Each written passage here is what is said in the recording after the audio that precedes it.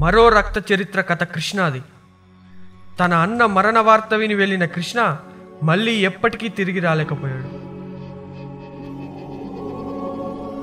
తన కుటుంబం మీద తన మనుష్యుల మీద జరిగిన దాడి మూలంగా తనలో రేగిన పగ ప్రతీకారాల కారణంగా కనికరం లేకుండా కృష్ణ తన శత్రువులను అంతం చేశాడు.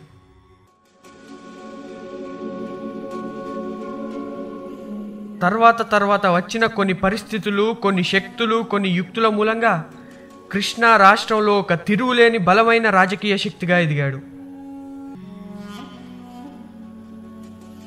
అసలు రాష్ట్రం మొత్తం మీద కృష్ణాని కన్నెత్తి చూడ్డానికి ఎవరికైనా అసలు గుండెలున్నాయా అని అనుకుంటున్న టైంలో మరో రక్త చరిత్ర ప్రథమ పర్వం పూర్తయింది.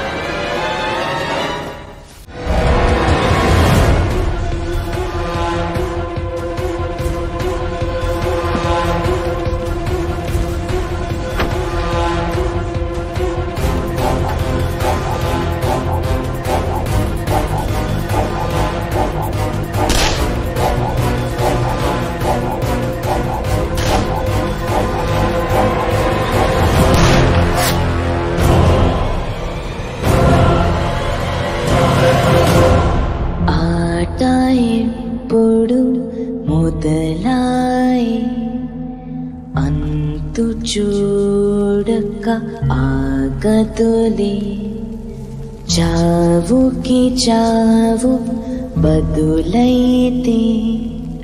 निन्नु चम्पक बदलदुले। गट्टु बोट्ट्ट्टुगा निरक्तानि नीलैरुलै परिस्ता।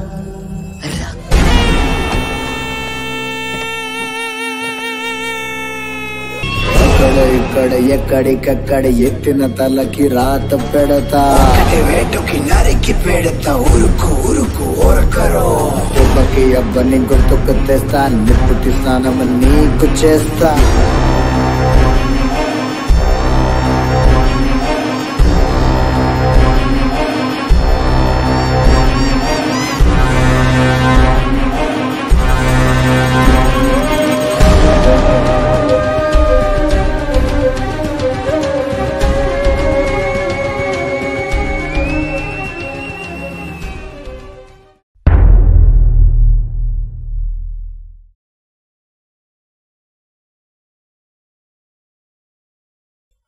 ఎవరు చేశారనుకుంటున్నావు బాబు?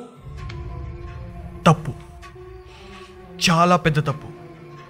ఆ బుక్క తమ్ముడు పురుని వదిలేసి చాలా పెద్ద తప్పు చేశాను మరో రక్త చరిత్ర ద్వితీయ పర్వంలోకి ఒక కొత్త పాత్ర ప్రవేశించింది.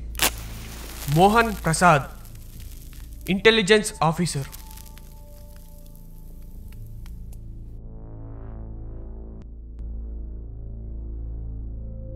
Sir sir sir sir నా హనుమాన్ చేతి సార్ నేనేం చేయలేదు సార్. నాకేమైనా పిచ్చా సార్? నాకేం సంబంధం లేదు సార్. నాకేం సంబంధం లేదు సార్. నన్ను నమ్మండి sir. Please sir.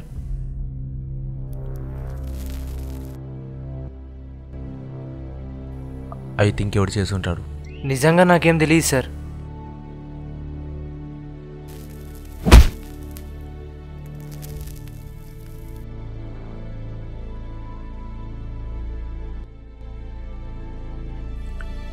నీ బ్యాక్గ్రౌండ్ మొత్తం నాకు తెలుసు. ఇలా దాడి చేసే ధైర్యం నీకు లేదు. కానీ నాకు తెలుసు. అది ఎవరు చేశారు నీకు తెలుసని. నాకు వాడి పేరు చెప్పు చాలు. వాడి పేరు.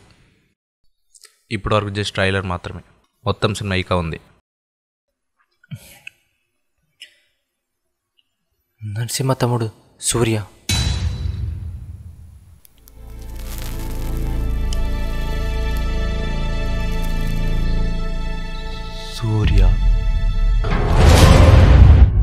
ఈ దాడి వెనుక నరసింహ అనుచరుల హస్తం ఉందని అంటున్నారు. ఈ దాడికి కారణం? అసలు నరసింహ ఫ్యామిలీకి మీకు ఉన్న శత్రుత్వం ఏంటి?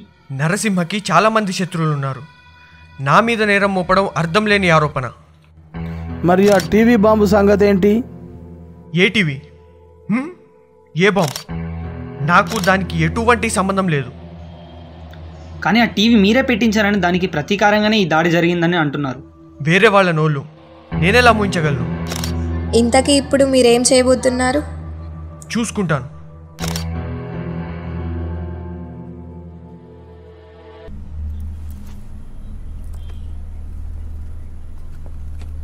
డీసీపీ మోహన్ ప్రసాద్ వచ్చాడు.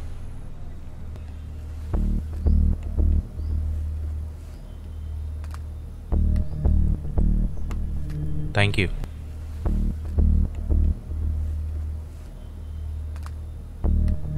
hi. చెప్పు. టీవీ గురించి అడగడానికి వచ్చాను. ఏ టీవీ? టీవీ. బాంబ్. ఏ బాంబ్? సూర్య ఫ్యామిలీని చంపడానికి నువ్వు టీవీలో పెట్టించిన బాంబ్. టీవీ చూడలేదా? నా సమాధానం కూడా దాంట్లోనే ఉంది. నేను టీవీ రిపోర్టర్ని కాదు కృష్ణ గారు పోలీస్. అయితే పోలీసులా ప్రవర్తించు. నాకు పోలీస్ స్టైల్ నచ్చదు. నా స్టైల్ నాదే. బహుశా మీకు నచ్చలేదు అనుకుంటా. ఏయ్ వచ్చిన విషయం చెప్పు. బహుశా మీరు వినలేదు. లేదా మర్చిపోయారు. మళ్ళీ చెప్తా. TV bomb. బాంబు పేలింది నా మీద. నీ మెదడు పనిచేయట్లేదేంటి ఏం చేయను. మేబీ అయ్యుండొచ్చు anyway thanks for your cooperation వస్తాను. కృష్ణ జాగ్రత్త.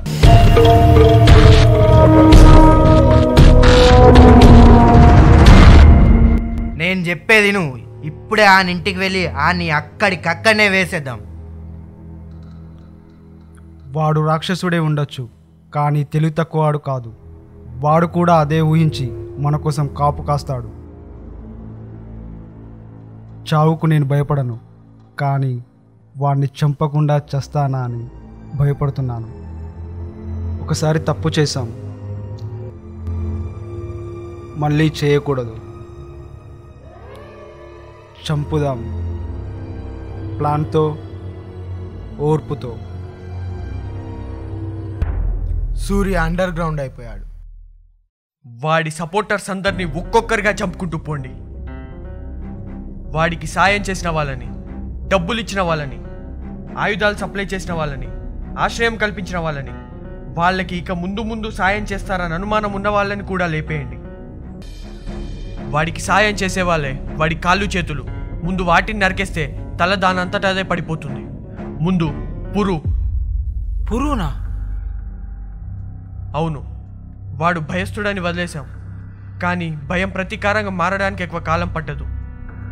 అంతేకాకుండా సూర్య నన్ను చంపడానికి ప్లాన్ చేస్తున్నట్టు తెలిసి కూడా చెప్పలేదు. ఏసేయండి.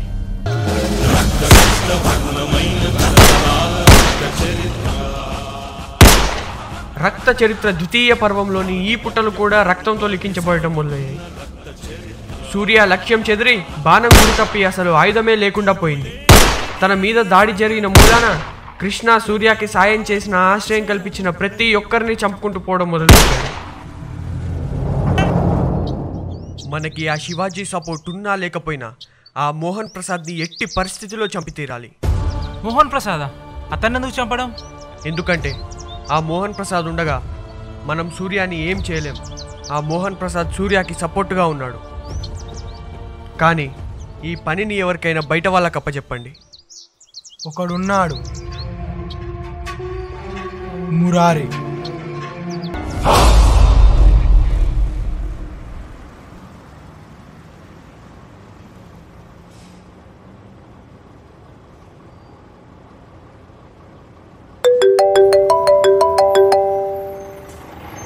సార్ ఇక్కడ ఎవరు సూర్య అని చెప్పేశారు. వాట్? ఎక్కడ?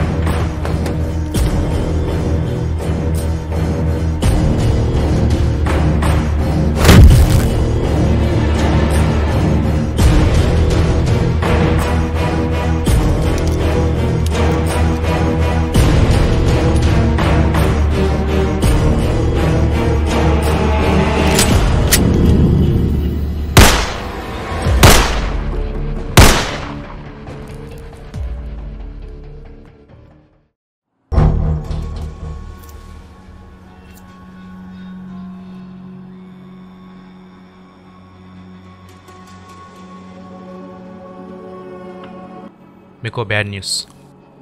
మురారి చచ్చిపోయాడు. మురారి ఎవడు? వాడికి బాగా తెలుసు. ఎవడా మురారి? ఏమన్నావు? మురారి ఎవడు? నేను తలుచుకుంటే ఇక్కడి నుంచి బయటికి వెళ్ళలేవు. కానీ వెళ్ళు. డీసీపీ మోహన్ ప్రసాద్ నేను చట్టాన్ని గౌరవిస్తాను. నువ్వు గౌరవించు. వెళ్ళి సాక్ష్యాలతో రా. వస్తా.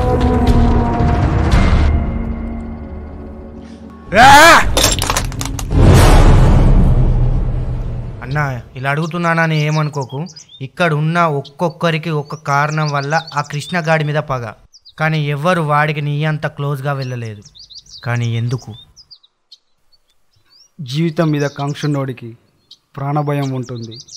ప్రాణం మీద ఆశ ఉన్నోడికి బ్రతకాలన్న కోరిక వస్తుంది. నా సంతోషం వాడి చావు. దానికి నేను చావడానికైనా సిద్ధం. ఏం చేశాడు?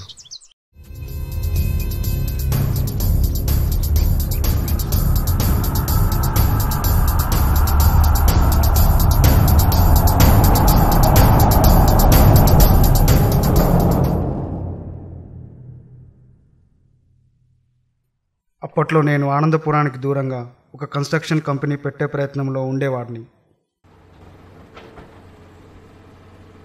అనయ్య ఈ కాంట్రాక్ట్ చాలా కష్టం మీద వచ్చింది. పని మొదలు పెట్టడానికి కొంచెం డబ్బు అవసరం. మళ్ళీ తిరిగి ఇచ్చేస్తాను. ఈ ఆస్తులన్నీ నీవే కదరా. ఆత్మాభిమానం పేరుతో నువ్వు మా అందరికీ దూరంగా ఉండడం నాకు ఇష్టం లేకపోయినా అర్థం చేసుకున్నాను కాబట్టి ఇంకేమనను. కానీ నా భయమంతా మన తమ్ముడు చంద్ర గురించే. వాడొక్కడే ఇవన్నీ చూసుకోగలడా అని. అన్నయ్య వాడికి ఆవేశం ఎక్కువే కానీ తెలివైన వాడు. మేనేజ్ చేసుకోగలడు. కానీ నీకెందుకురా మన ఊరంటే అంత ద్వేషం? నాకు ఆనందపురం అంటే కాదన్నయ్య అక్కడి మనుషులంటే ద్వేషం. మాటి మాటికి చంపుకుంటారు. ఇక్కడ ఎవరు ఎవరిని సరదాగా చంపుకోర్రా. అవసరం ఇక్కడ. ఏదో ఒక రోజు నువ్వే అర్థం చేసుకుంటావు. సరే అన్నయ్య నేను మళ్ళీ ఫోన్ చేస్తా.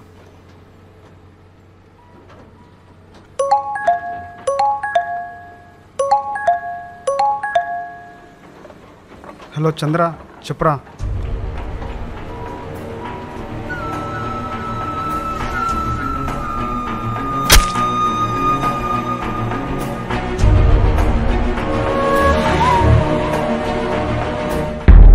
ఇంట్లో ఎవరు లేనప్పుడు అన్నని చంపాడు. పోలీసులకు సాక్ష్యాలు కావాలట సాక్ష్యాలు. నాకే సాక్ష్యాలు అక్కర్లేదు.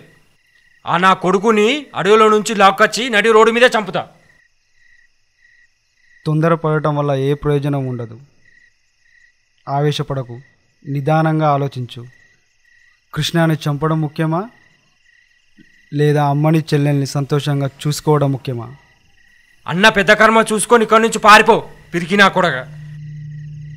రేయ్ నా కోసమైతే కృష్ణ గారిని ముక్కలు ముక్కలుగా నరికేయడం కంటే నాకు ఇంకేం అక్కర్లేదు. పిరికివాడినా? ఎవర్రా పిరికివాడు? నీకు నాకేమన్నా జరిగితే అమ్మ చెల్లెలు రోడ్ల మీద పడి తిరగాల? అడుక్కు తినాలా? బెంగళూరులో ఒక కన్స్ట్రక్షన్ కంపెనీ పెడుతున్నా.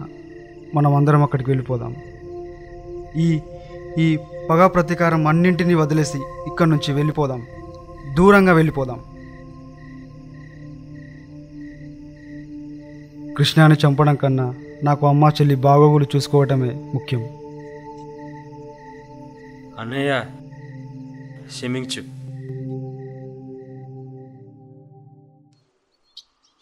మా అన్నని నాగమణి చంపిన తర్వాత ఆ కృష్ణ వాడి బలాన్ని పెంచుకోవడానికి వాడు చేసిన ఎన్నో అరాచకాలు కప్పిపుచ్చుకోవడానికి రాజకీయాల్లో చేరాడు.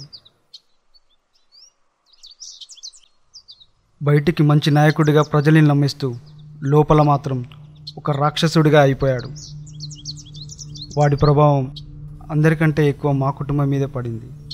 అయినా ఎలాంటి గొడవలకు వెళ్ళకూడదని మా వాళ్ళందరికీ నచ్చజెప్పాను. ఎందుకంటే నాకన్నిటికన్నా ముఖ్యం నా కుటుంబమే. కొన్ని రోజుల తర్వాత నేను సంక్రాంతికి మా ఇంటికి వెళ్ళాను అక్కడ వాడు టీవీలో బాంబు పెట్టి మా కుటుంబాన్ని చంపేశాడు. నా ఏ కుటుంబాన్ని కాపాడుకోవడం కోసం నా పగని వదిలిపెట్టానో వాడు అదే కుటుంబాన్ని చంపేశాడు. ఇక నాకు మిగిలింది పగే.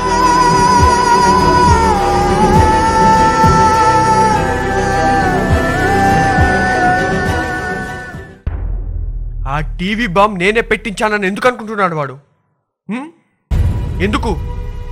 మాట్లాడరే. నిజమే చెప్పాడు. ఏంటి? గుర్తుందా? నువ్వు శివాజీ పార్టీలో చేరు ముందు మాకు ఆర్డర్ ఇచ్చావు.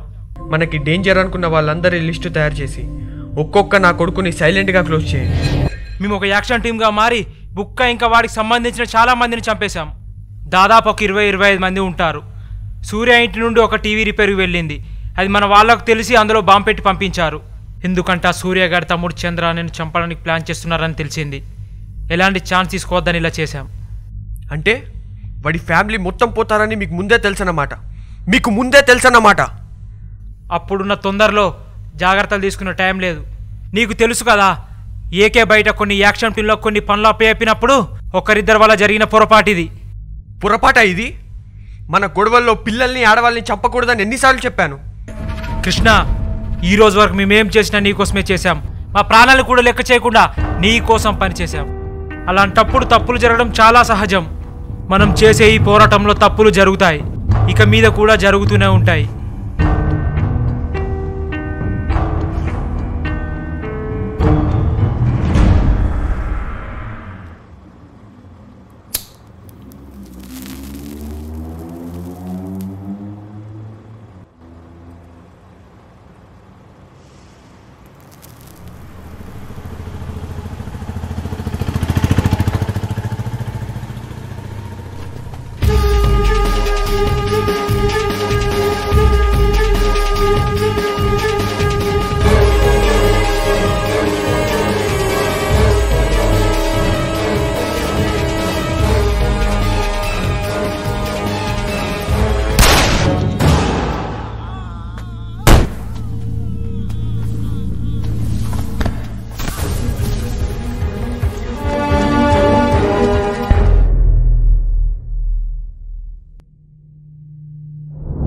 ముందే తెలుసన్నమాట. మీకు ముందే తెలుసన్నమాట. మా ప్రాణాలు కూడా లెక్క చేయకుండా నీ కోసం పనిచేశాము.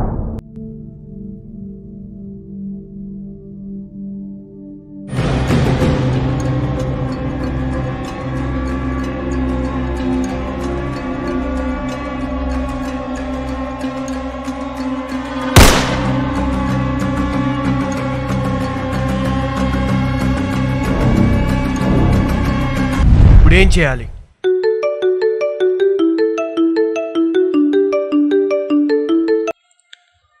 జరిగిందంతా విన్నాను బాబు. ఇంటికి రా. సార్ నేను రమ్మంటున్నానుగా.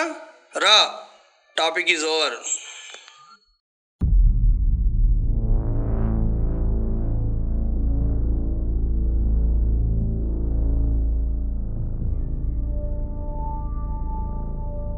చాలా టాపిక్స్ పెండింగ్లో ఉన్నాయి.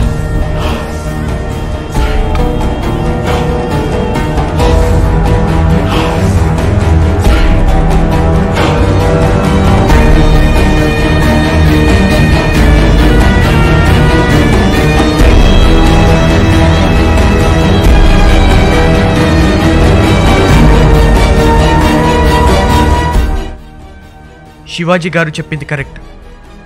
రాజకీయాలకు వచ్చినాక ఈ హత్యలు గూండాయిజం శత్రుత్వం లాంటి పనికిరాని వాటిని వదిలేయాలి. బలం అనేది స్నేహితుల నుంచి వస్తుంది కానీ శత్రువుల నుంచి కాదు. మన శత్రువులతో విడివిడిగా నాకు మీటింగ్లు ఏర్పాటు చేయండి. శత్రుత్వాన్ని వదిలేసి స్నేహం కోసం హస్తం అందించటంలో కృష్ణ అంతరంగిక చాణక్య ఆలోచన ఎంత కరెక్ట్ అయినా కానీ కాలగమ్యంలో కృష్ణ తన ఆలోచనల్ని విస్తృతపరుచుకుంటూ వచ్చి తను ఎందుకు కృష్ణగా మారాడో దాని విషయం వదిలేసి దానికి సంబంధం లేని వేరే వేరే విషయాల్లో తన ఫోకస్ని తన కాలాన్ని కేటాయించడం మొదలుపెట్టాడు. కానీ సూర్యాస్థితి కొన్ని సంవత్సరాల క్రితం కృష్ణాస్థితి ఏ పరిస్థితిలో ఉండేదో ఇప్పుడు అదే పరిస్థితిలో రగులుతోందన్న విషయాన్ని కృష్ణ గమనించలేకపోయాడు. కానీ ఈసారి మాత్రం కృష్ణాని చంపడానికి సూర్య చాలా దృఢమైన పథకమే వేశాడు. Yeah.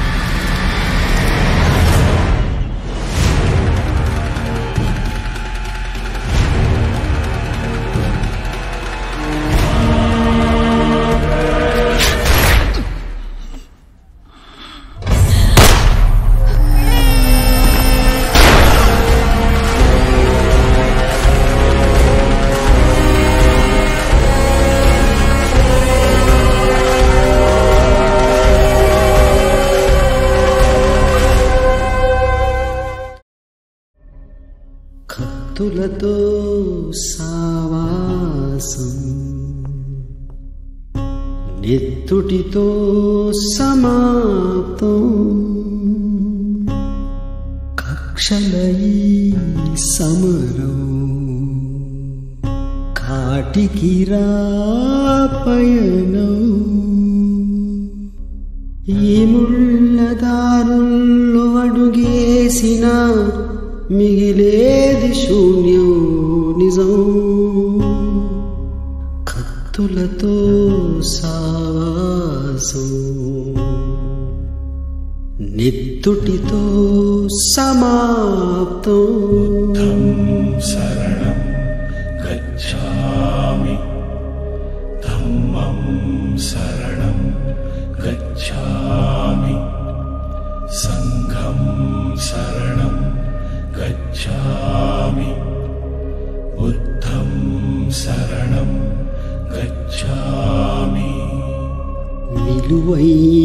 గచ్ఛామి విలువైన బతుకు